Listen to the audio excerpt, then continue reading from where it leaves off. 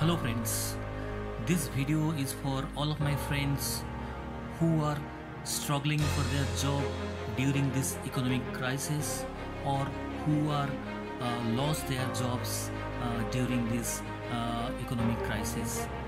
So friends, don't worry, don't worry, be happy always.